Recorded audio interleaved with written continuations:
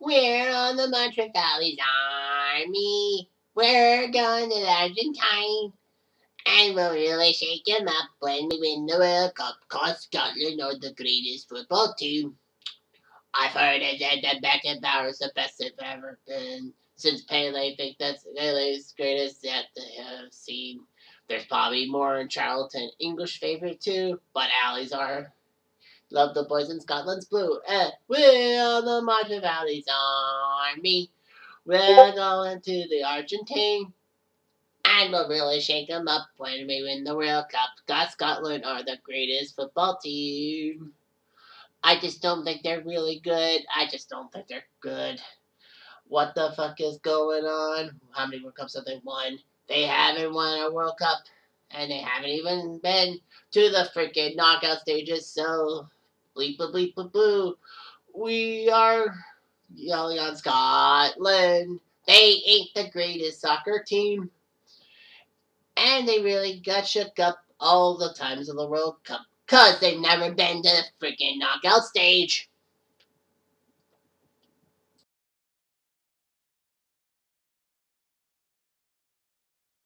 It's the ages old question about crapping on a team is who's the worst World Cup team of all time? Well, it depends on your qualifications and your rhetoric. Well, we've seen teams go 0 3 in their early World Cup appearances. Yes, Canada has done that. Canada didn't even score a goal in their only World Cup appearance. But heck, China never did in 2002, so we tied with China. A goal for Canada against anybody, Belgium, Croatia, or Morocco, will make sure we get out of that mess. No country has ever had multiple World Cup appearances in history and had zero goals. Imagine how Canada feels. Like being teased and all that. But hey, we'll score one or two goals, I'm sure of it. How about the worst team by losses? Well, it would be Mexico. Mexico has lost more lo games than any other country in World Cup history. But the funny thing is, unlike Scotland, which is, of course, the subject of this video, Mexico has been to the knockout stages. Granted, a couple times it was because they were the host team, and FIFA likes to help the host countries out by doing some argy-bargy and all that. But, I mean, Mexico beat Bulgaria in 1986. Negrete's spider goal, as they called it.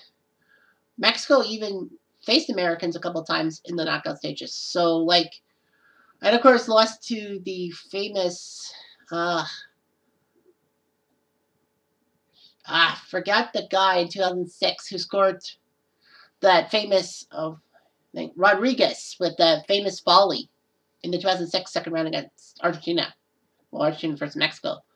But for my standards about the worst World Cup nation, you gotta handle Scotland. But you'd be saying, hang on, didn't Scotland win a few games every now and then? Yes, but do you know how many times they've been to a knockout phase in the World Cup? That's right, buddy. Zero. Zero point zero. I can make a lot of Scottish jokes of things, but I'm going to hold back. I'll let the FIFA World Cup glorification speak for itself. So, you want to know about Scotland at the World Cup, huh? Well, I'll tell you about it. Our story begins in 1873 when they had the Scottish Football Association, the second oldest in the world behind England. And in 1873, they would, they would face England in what was called the first official international match. Scotland had a chance to qualify. In the 1930s, just like England, they were petulant. They didn't like broken. time. They wanted broken time payments to players because you know break their training and go to this World Cup. Scotland came back in 1946 as a permanent member. So, Scotland were now eligible to enter the 1950 World Cup. And FIFA actually said that the home nations championship between England, Scotland, Wales, and Northern Ireland, the top two countries would automatically qualify for the tournament in Brazil. Alright, fine. However, the Scottish Football Association said that Scotland would only make it to Brazil if they won the competition. If they kept second, no way. And that's what happened. Scotland faltered in the final game to England on home turf 1 0. So that meant England won and Scotland second. So all Scotland had to do was take second place and head over to Brazil. But nope. That wasn't good. The Scottish players even said, you were making a big mistake to the SFA, the Scottish Football Association. But Scotland's like, hell no. You know, they didn't like it and all that. So they tried for 1954 World Cup, and the same thing happened. The home nation stopped too. Scotland took second again, but this time they weren't petulant like they were in 1950. They decided to go to Switzerland. The only problem was that Scotland, well, Scotland only sent 13 players to to their team, even though FIFA allowed 22 players. Scotland decided to wear these atrocious blue sweaters, like button-up sweaters, thinking, oh, Switzerland's going to be cold. Well, when you have a match at 90 Fahrenheit, you know that you've messed up. So anyway, Scotland lost to Austria 1-0. And then Scotland would play their second and final group game because in 1954 they had two seeded teams and the two unseeded teams, and the two seeded teams couldn't face each other, and the two unseeded teams didn't face each other. So Scotland only had two games instead of three. Scotland took on Uruguay and got taken out seven to nil.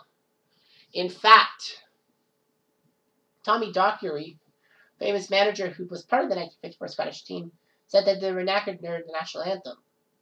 Also because they're wearing these stupid wool like jerseys with the with the neck with the neck guard. I'm like, what the hell? With a turtleneck. well, Scotland came back to the World Cup in 1958. In fact, all four home nations, Scotland, Wales, Northern Ireland, and England, all qualified. So Scotland beat Spain in a qualifying group, so that got them to the World Cup. Matt Busby actually was going to be the manager of the Scottish team, which was great. The only problem was the injuries he suffered during the Munich air disaster, disaster that ruined Manchester United for many years. Although Busby was alive, he couldn't do it. So Dawson Walker had to take charge of the team. They tied Yugoslavia in the first game. Okay, fair enough. And unfortunately, Scotland faltered to Paraguay 3-2, even though the Tommy Dockery was actually sent to watch Paraguay. And they said that Paraguay was a rough fit and good team. And the coach said that, you know, we need balance. France took care of Scotland and Scotland went home. I didn't think Scotland was going to make it that far with France and Paraguay and Yugoslavia. So Scotland then went to a dark period. No World Cups till 1974. In 62, they were close. They got to be first place in their qualification group, but it was a tie with the Czechs. Unfortunately, they lost in a neutral site, and the Czechs went on to not only make the World Cup based on that, they actually got to the final before Brazil beat them. Scotland was in qualification, but they needed they needed to play Italy, and Scotland needed a win to qualify or a tie to force a playoff. Unfortunately, Scotland got their butts handed to them and didn't even come close. Italy would then falter to North Korea in that famous game. So Scotland was put in the qualification group in 1970. All Scotland had to do in qualification was not lose to West Germany. A tie would help and retain qualification. But shockingly lost 3 to 2. That saw West Germany and Austria qualified for the World Cup. Scotland was pissed. So, anyway, Scotland somehow, in some way, got to the World Cup in 1974.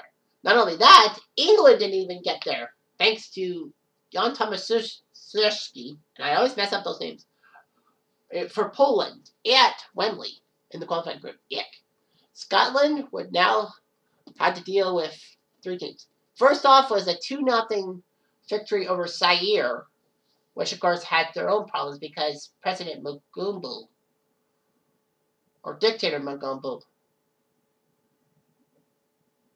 would Mobutu would get on Zaire's nerves. So they went 2 0. And then they took care of Brazil. Unfortunately, they could only tie Brazil and Yugoslavia. And it looked good. Unfortunately, one tiny little problem was that they actually fell out of qualifying for the knockout stages, or the second group stages as they put it in 74. I was like, what? We didn't lose a game, and yet you're not going to get us through. Well, unfortunately, goal differential was the big thing. And since Brazil beat Zaire 3-0, whereas Scotland won only 2-0, and Yugoslavia crushed Zaire 9-zip. Yugoslavia and Brazil got in. Scotland, out. That is one of the most bullshit ways to get out of the World Cup. And all that. And then 1978, they shockingly did it with Ali McLeod as manager. He looked good. Of course, Ali started an army performing on top of the Pops. And Scotland thinking because they were a top 10 team, they were going to crush it in the Argentine. Scotland took care of the Czechs and the, the Welsh on their way to qualify for the World Cup. Ali McLeod said, you know what, Scotland will come home with Argentina with a medal. And the fans were hoping and all that. There was actually respected, some respected coaches, uh, including the Dutch coach Rinus Michels, said that Scotland could win the competition. Scotland's first game was against Peru, and they looked good because Peru seemed to not look good in 1970 in the World Cup. Unfortunately, Tavila Cubillas put up two big goals, making it 3 1 for Peru. Oddly enough, in the Scottish net behind Alan Ruff was a present from Blue Peter. It was a cuddly mascot. And the mascot was in the net when that happened. Weird. Anyhow, so they lost to Peru. That that was bad enough. However, the second game was terrible. Scotland could only tie with Iran. You heard that right. Scotland tied 1-1 with Iran. And this is 1978. This is not 2022. It's like, what the fuck? MacLeod had some problems. He would pick inexperienced fullbacks and retaining two guys who didn't feel like they did anything. The Scottish fans were pissed. Obviously, I mean, you couldn't beat Peru and you couldn't beat Iran. You're in trouble. So Scotland was out of luck. They still had a chance because if they could beat the Dutch by three clear goals, or plus three, if you will, then Scotland would get into the World Cup on goal differential in the knockout stages, or the second group, if you will, and take down Peru. Well, Scotland won. That's the good news. Scotland did beat the Dutch, but only because the Dutch rested their best players. And let's not forget about Archie Gamble's second goal in that game, which was a fantasy goal that was like hard to believe. He went all around the Dutch defense and scored, make it three to one. Scotland needed to score a goal and have the Dutch not score. Sadly, though, the Dutch did score. The good news was that Scotland won, but only 3 2. So, goal differential, they were screwed, and Peru took their spot. Peru would then go on to tank against Argentina, giving Argentina the trip to the final in exchange for grain and the unfreezing of assets for Peruvian leaders. Isn't that just stupid? So, you know, you don't know what you got till it's gone. So anyway, that was just pathetic. Scott Scotland also had the problem because Willie Johnston, who was one of the best midfielders around, had to leave because of a failed drug test. Yick. So Jock Stein, who was a hero for Scottish soccer, especially for Celtic, winning the European Cup in 1967, was named the manager. So Scotland failed at Euro 80 to qualify. And then in 82, they were in a tough group with Sweden, Portugal, Israel, and Northern Ireland, only losing one match and qualifying, alongside Northern Ireland, who pulled off a stunner of their own at the 82 World Cup by beating Spain and denying Yugoslavia a chance in the second group. Unfortunately, Scotland would be in what they called the group of death. And I believe 1982 was the first time in history that soccer had what it's called the group of death. So, yeah, it was just unbelievable. A lot of group of death and all that. So, yeah. The group of death was huge. It's a cliche. It was actually popularized after 1986. But the group of death was actually not the first time in 82. 1970, Group 3 held England, Brazil, the Czechs, and Romanians as the group of death. But this was only the second group of death in history. There would be a group of death involving Germany, but in 86. But anyway, they couldn't believe it. Well, the group of death with New Zealand, Brazil, and the Soviets. Now, a group of death would have all four teams looking pretty good, not just three. While New Zealand were making their debuts, Brazil was, well, Brazil, and the Soviets were underrated, if you will. Scotland crushed the Kiwis 5 to 2 in the first game, which was great. And then Brazil took Scotland to the sword with a pair of wonderful goals by Socrates and Seiko, make it 4 1. Scotland would take on the Soviets and tie the Soviets 2 2. Okay, fair enough, a try. But guess what? They did not get through. They actually missed out on goal differential. Yeah, Scotland blew that 2-1 a 2-1 lead when Alan Hansen and Willie Miller, the defenders, collided chasing a ball, and then the Soviets ran and scored. That's one thing. But also the biggest problem for Scotland was the fact about New Zealand. You're thinking, they beat New Zealand. What difference does it make? Well, considering the goal differential, that would have helped them out against the Soviets. Brazil won the group. The it was found out that if the Scots had shut out the Kiwis 5-0 instead of 5-2, Scotland would have got through. So New Zealand, by scoring two goals against Scotland, actually screwed Scotland over. Which was like, what? It happened. Yikes. So 82 was a, a stab in the heart. I mean, second time in three World Cup appearances, they actually faltered because of goal differential. And 78, they basically couldn't frickin' beat Iran. But they did qualify for the 86 World Cup, unfortunately under bad circumstances. They needed a point against Wales. They got the tie against Wales that got them to a qualifying two-leg event against Australia. They beat Australia, and it looked good. Unfortunately, when Scotland played Wales and had the tie that got them to the playoff against Australia, Jock Stein, the coach, suffered a heart attack and died shortly after. It was just shocking.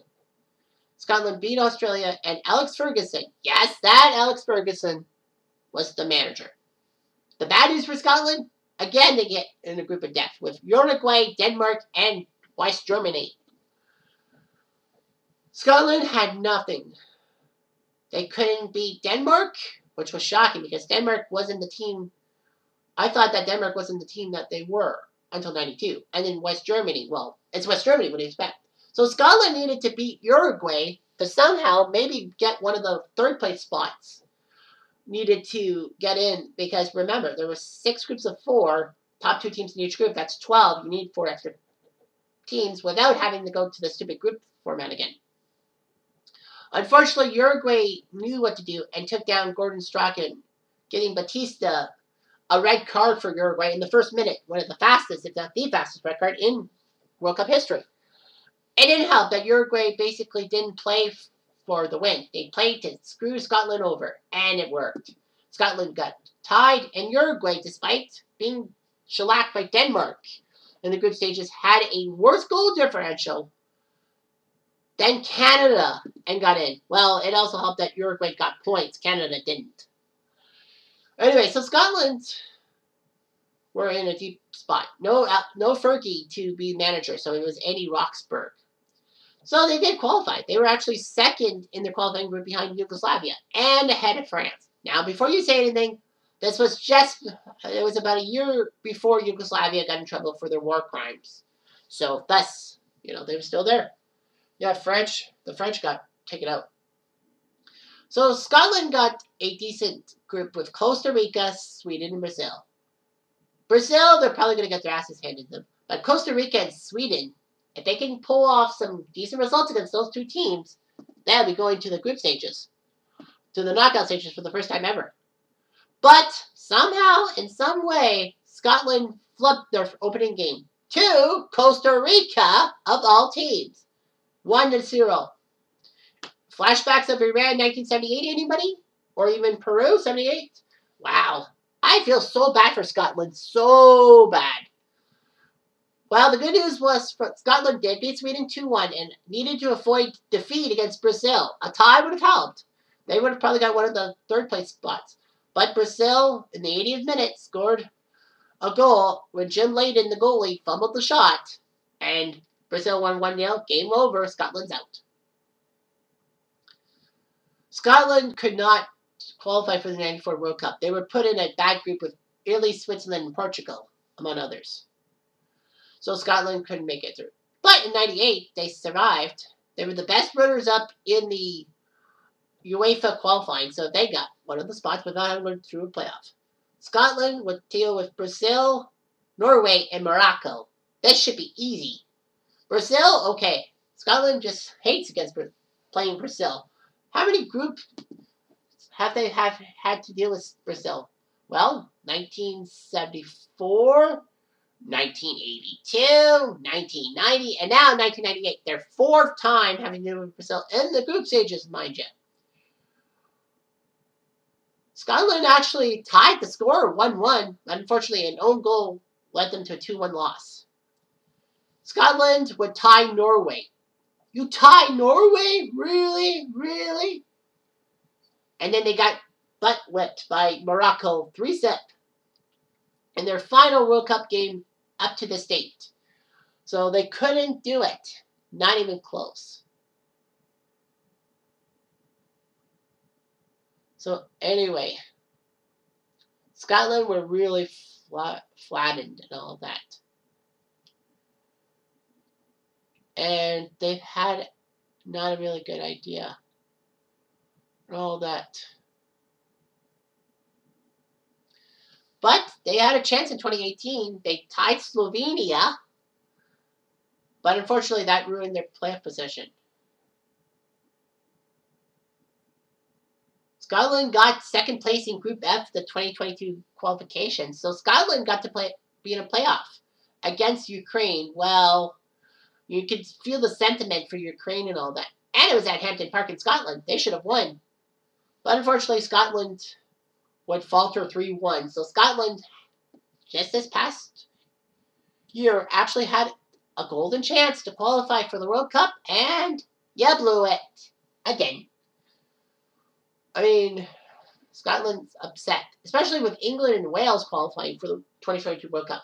So Scotland weren't the best football team around, and now they keep on waiting for another FIFA World Cup a chance. The good news for Scotland is that there will be 48 teams fighting it out in 2026 at the next World Cup, held jointly by Canada, US, and Mexico. The bad news is they still have a chance to not make the knockout stages. Unbelievable how Mexico has more World Cup losses, and yet Scotland can't even get out of their groups to the knockout stages, even if they tried. I mean, when you when you have your analysis, 1974 they got taken out because they couldn't score enough goals against Zaire. 1978 they couldn't beat Peru or Iran. 1982 they couldn't shut out New Zealand when they needed to. 1986, they couldn't take care of the animal, animals of Uruguay. 1990, they lose to freaking Costa Rica. And 1998, they freaking tie Norway. Scotland just has the worst luck when it comes to facing countries they should handily beat. Ali's target army, my ass. So thank you for watching this video. There'll be three more coming up in this current series. I'm Jeff Diamond. I do.